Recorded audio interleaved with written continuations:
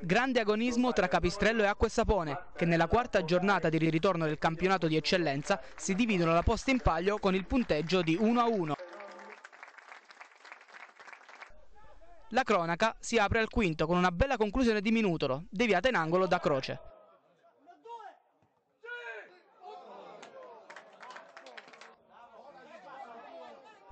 I padroni di casa rispondono al nono. D'Amico fermi in uscita di Gaetano, ma sulla ribattuta Lepre centra solo il palo. Al sedicesimo Del Gallo tenta un colpo dei suoi, ma Croce è attento e manda il pallone in angolo. E il preludio al gol. Sugli sviluppi di un corner, Buonafortuna stoppa la sfera e di prima intenzione lascia partire un siluro che termina la sua corsa in fondo al sacco. Il replay è d'obbligo, Acqua Sapone in vantaggio.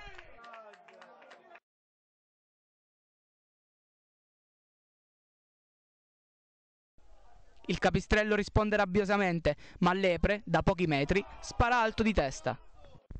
Lo stesso Ranto è protagonista sul finire del primo tempo quando coglie il secondo legno di giornata, ancora con un'inzuccata.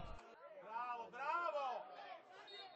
Dai, dai! Bravi ragazzi, dai! Si riparte con gli stessi 22 del primo tempo. Subito arrembanti i padroni di casa, ma Franchi esalta solo i riflessi di D'Amico. Estremo difensore ancora protagonista al quindicesimo sull'ennesimo stacco aereo di Lepre. Nella fase centrale del secondo tempo la gara si innervosisce. Prima Mister Torti viene espulso per proteste e poi è Del Gallo a finire sotto la doccia per una presunta gomitata a De Meis. Ma è sul finire di gara che si concentrano le emozioni. Al quarantesimo Lepre colpisce il terzo legno della sua sfortunata partita, ma sul proseguirsi dell'azione avrà modo di rifarsi. Piccioni lo stende e per Ursini di Pescara è calcio di rigore. Dal dischetto l'attaccante marsicano sigla la dodicesima rete stagionale.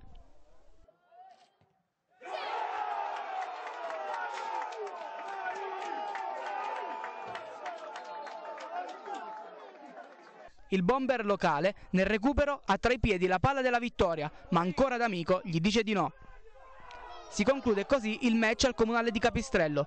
L'acqua e sapone conquista un buon punto in chiave salvezza, mentre si interrompe la striscia di vittorie consecutive dei marsicani.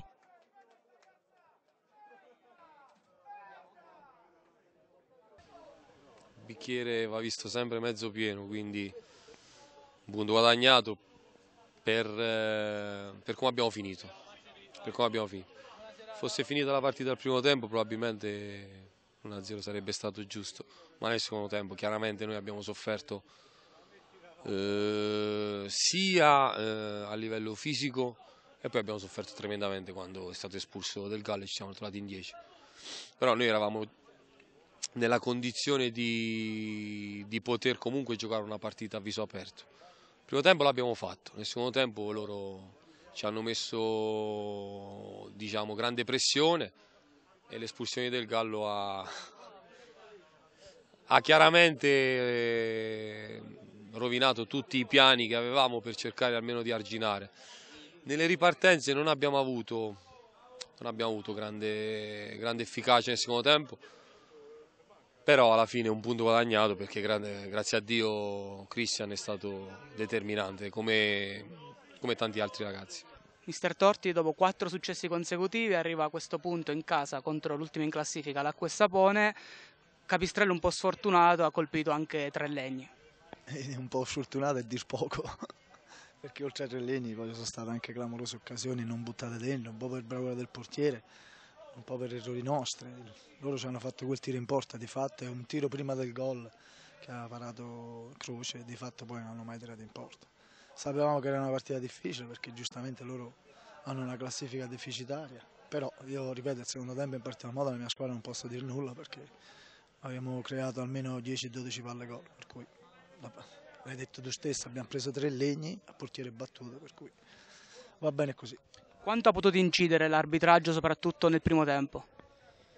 Ma io degli arbitri non parlo mai, però effettivamente qualche situazione la volevo rivedere anche dentro l'area loro, c'è stato qualche episodio un po' da rivedere, però l'arbitro fa parte del gioco, cioè è inutile adesso appellarsi al fatto dell'arbitro, l'arbitro può sbagliare come sbagliamo noi, per cui noi dobbiamo andare avanti, abbiamo fatto una buona partita, non era semplice perché sapevamo che loro è una squadra che in tutte le gare se la sono sempre giocata, per cui però ecco, sono molto soddisfatto del secondo tempo della squadra dove la squadra sicuramente avrebbe meritato molto molto di più.